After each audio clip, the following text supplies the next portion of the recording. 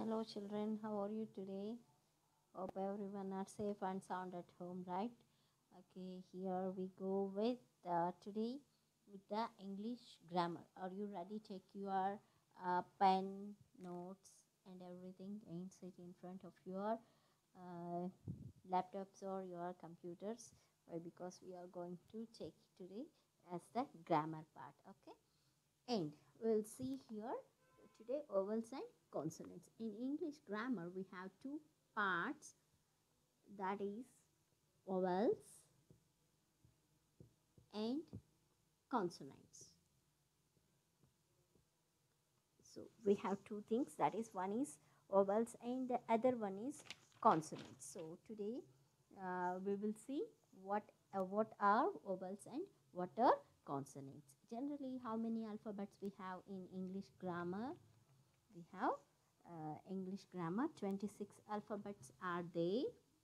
26 alphabets are there in English grammar. That is A B C D E F G H I J K L M N O P Q R S T U V W X Y and Z. See, we have uh, alphabets are from A to Z. Shall we start counting? 1, 2, 3, 4, 5, 6, 7, 8, 9, 10, 11, 12, 13, 14, 15, 16, 17, 18, 19, 20, 21, 22, 23, 24, 25 and 26. We have 26 alphabets in English grammar. So, in from these 26, today we will see what are vowels and consonants that I have been already given you in the last videos but we will have one more time now. So what are vowels? We have five vowels. Five vowels in our English grammar. We have five vowels. The vowels are A, E, I, O, U. What are that? A, E, I, O, U. These five are called vowels in English grammar. The rest of the things are consonants. The rest of the letters are consonant. What are the uh, leftover things? A already we have here. B, C, D, E is there. F, G, G, E, F, G, and H, E, F, G, H, I is already there. J, K, L, M, N, O is there. P, Q, R, S, T, U is there. V, W, X, Y, Z. These are the consonants. So, what are uh, uh, vowels here? A, E, I, O, U are vowels. Whereas the consonants, what are consonants? B, C, D, F, G, H, H, G, K, L, M, N, P, Q, R, S, T, V, W, X, Y and Z. See, we have skipped uh, the ovals and uh, we have been separated ovals and as well as the consonants. Now, shall we, these are five, vowels are five. Shall we count the consonants? 1, 2, 3, 4, 5, 6, 7, 8, 9, 10, 11, 12, 13, 14, 15, 16, 17, 18, 19, 20, 21. So, how many consonants we have? 21. Now, 21 plus 5 totally we can have around 26 alphabets in our English grammar. So, A, E, I, O, U are the vowels as well as the rest of the things are consonant. So, here are some words for you. So, before when we uh, uh, how to use A and an I will tell you today in this session. When to use A and when to use an use of a and an. for every word which sounds with an vowels, a word which sounds with an vowels, a word which sounds which sounds with vowels in front of that we keep an in front of that we can place and for that word. And a word which sounds a word which sounds with consonant with consonant. We can place a before that word. So a word which which sounds with an vowel we call it as or we can place and in front of that a word with consonant sound we can place the uh, a in front of that letter. And here are some examples for that. For that words we will see first one with the vowels that is uh, vowel part. Here is one letter apple apple egg apple egg ink umbrella orange. Take here orange and umbrella. Orange umbrella. Think that these are some words so how to which one we want to place before a or an what we want to decide or what we want to place before uh, this word means first we have to check with what sound it is going to uh, be with the word.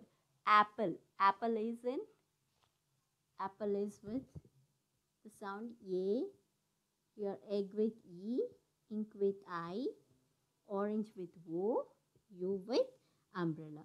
This all will sounds like vowels right? So whenever the word sounds like a vowel what we can place in front of that word? An. An apple. Egg means an egg. And we can place why? Because it is also sounds with the vowel sound. Ink. I. A i. So an ink. Orange. And orange umbrella and umbrella.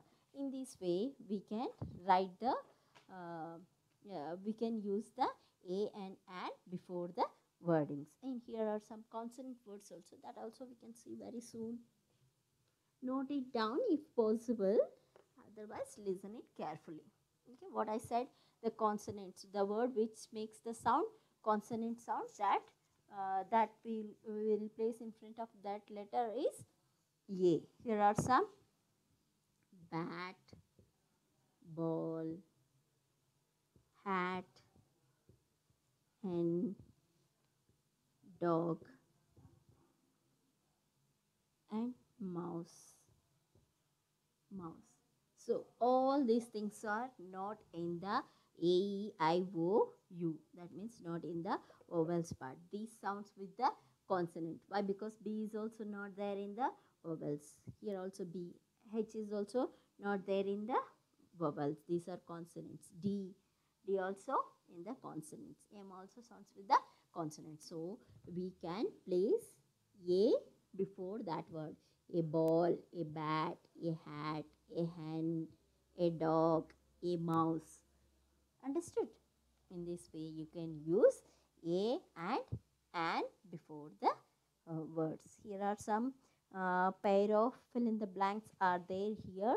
You can do it as a homework. Uh, i already said if it sounds like oval then you can place a and before the word. If it sounds like consonants you can place a before that. We will see with one example with the fill in the blanks one or two examples so that you can do the rest of things at home.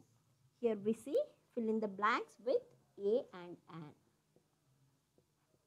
fill in the blanks with A and an. The first one, this is dash ball. Next, this is dash elephant.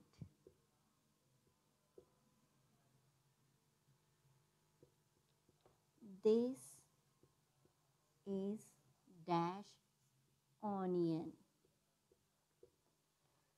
So, if we see here, if we see in this, uh, the first one is, the first one is like, uh, this is dash ball. What is the word sounds like with consonant, right? So, immediately we can play, place A before the word. Now, you can read this is A ball. Is it okay? Or an? No, definitely it is uh, A. Why? Because it's a consonant sound. And we'll come move to the next one. This is dash elephant. What does the elephant sounds like? This elephant is in vowels A, E, the second letter itself, E. That's why we have to place and before the word. And this is an elephant. In third one, this is dash onion. You tell me what is that? A, E, I, O. O is also there in onion. So it also sounds like oval. So what we, we want to place in front of that? We want to place and in front of that uh, onion. Now, uh, now read this one. This is an onion.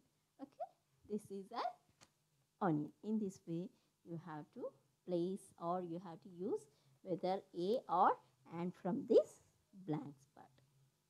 Okay, hope you understand about the grammar also.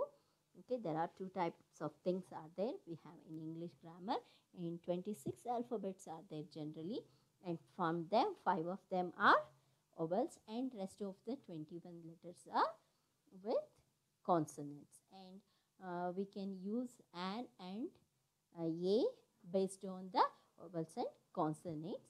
So, if the word sounds like uh, uh, like vowels then we want to place an in front of the word and if it is sounds like consonants we can place uh, a before the word. In this way you have to use the grammar part in English. Okay, that's, that's all today's end of this session.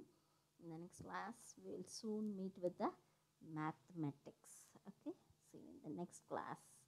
Until then, have a nice and great day. Okay, love. Bye bye.